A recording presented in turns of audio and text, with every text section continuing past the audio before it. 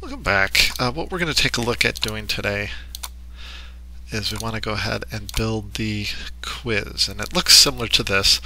I actually have a PDF here of it. You can see here is the model that's 3 by 6 wide and then it's 1 inch thick. Uh, this boss is 3 quarters of an inch height. We have a chamfer, we have some fillets. We want to put the fillets on first, then the chamfer. And there's another fillet there and there's a hole and a couple holes that are half inch and spaced 0.75 off of each edge and they're symmetric. So let's begin. Start with the new AutoCAD 3D. Let's go ahead and click on the home button here and top and we'll zoom out a little bit. We'll turn on the snap mode for a moment and go to home, find the rectangle tool and right here at the origin, click and drag out. It's going to be 6, so you can go ahead and type in 6 there, hit the tab key, and 3, and hit enter. Now go to the circle tool, and we should be able to locate the center right here. See it's 3 by 1.5. Click and drag that out, and I believe it's 1, uh, actually let's look at the print here. 1.25 for the hole.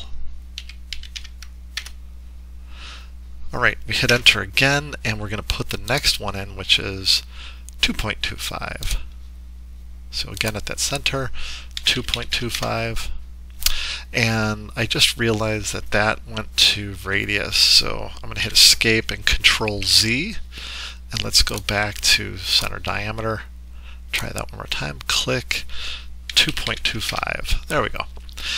Now, just to make sure we're back on center diameter, now there's one that belongs up here, but we're going to turn off the snaps for a minute, and we're going to put it roughly there. It's about 0.5, so click, drag it out, make it 0.5. Now, to locate that 3 quarters of an inch, we could have actually positioned it in different ways, but this is a good opportunity. I'm going to just uh, center this to actually use the parametric tool. So I'm going to go to parametric, and I'm going to first lock down this bottom corner. Alright, now we could go to auto constrain, click and drag a fence around everything, and hit enter. Okay, we can see it added a number of constraints. And that should lock it down for us. We could add a few more locks if we want. Maybe we'll add one here, or else we could use dimensions. I'm going to go ahead and go with um, vertical. And from this point to this point. That's 3. Hit enter. And then we could go with horizontal. We could have just selected linear as well. So this point to this point, and that's 6. Click, enter. And now, because that's all constrained, we could add constraints to this. So let's go to, first of all, let's constrain the diameter. And that's 0.5 enter.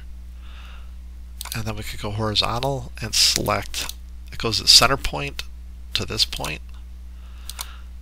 And now we could type in 0.75 and see how it repositioned it. Now let's go to vertical and select the geometry select that corner again. And there it is. And 0.75 Right, so that basically constrained it. Now we just want to mirror it across. So to mirror this across, we just go to the home, go to mirror, select the geometry we want to mirror, hit enter, and let's mirror it across from this point to oh, we could just go straight down, I suppose. Do we want to erase the source? No. Hit enter. All right, let's try that again. Hit and uh, mirror. We could hit enter, I suppose. Click over here and drag a fence to surround those two, or just select them each, hit enter, and then right here to there, and no. Alright, so we have a parametric sketch, essentially, or mostly parametric. We didn't add to everything, nor do we do we need to.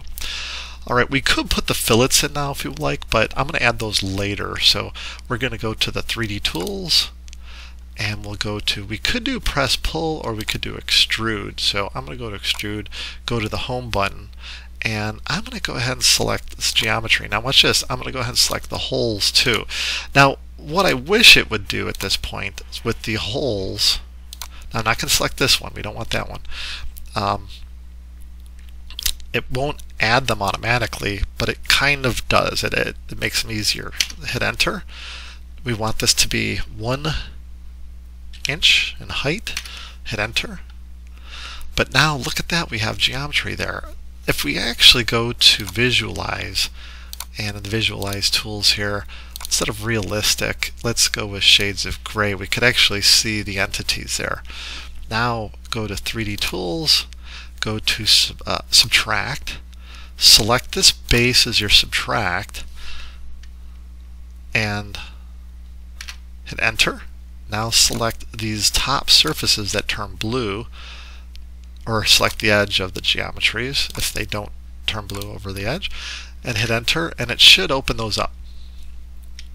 Now let's rotate and see we have that boss there. Let's go to press pull and get over to where you see both concentric circles highlight click drag it up you could rotate I'm holding the shift key and my middle wheel drag it up it's going to be actually 1.75 so it's one inch from the base plus the 0.75 for the height hit enter and in this case it cut it and I find that very interesting because that's not what I wanted. The last time I did this, it actually worked. I'm going to hit Escape, Control Z.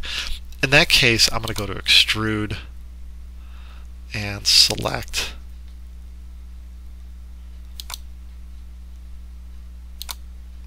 that.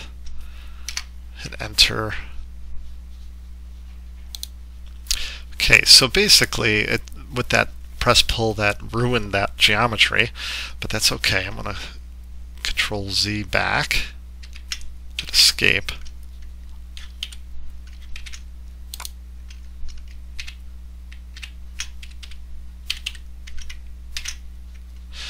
Alright, now I want to take that piece of geometry and Alright, so we want to go ahead and we want to get that extruded. Now here's the thing, let's go ahead and copy this edge first. So make sure you go to 3D Tools, under Solid Editing, we're going to go ahead and find this tool right here, which is Copy Edge. Select it. Let's recopy this edge right here and hit Enter. Alright, and now we should have, I believe, an edge there, but let's go to Extrude. Now we're going to have to hover over until we see just that line highlight, click, hit enter, and then let's go ahead and make it 1.75.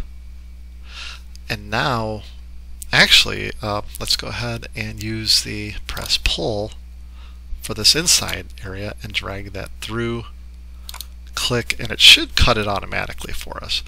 But now we have to unite those. So go to Union, select this body and this body and hit enter. And now we could go to the fillet edge tool and set it to radius 0.25 and we want this edge. Oops. There we go. You have to see the preview before you move on. This edge this edge this one here and then rotate around to get to this edge. Hit enter and enter again now go to the chamfer tool. Now for chamfer, we go ahead, select distance, set it to 0.125, enter, 0.125, enter, and loop, and select this edge here. Hit next until you see it loop around. Hit accept, and enter, and enter. And that it, that's it go ahead and then from here just go to print or I should say export PDF and set it to extent and go ahead and save it and, and drop that in and that's it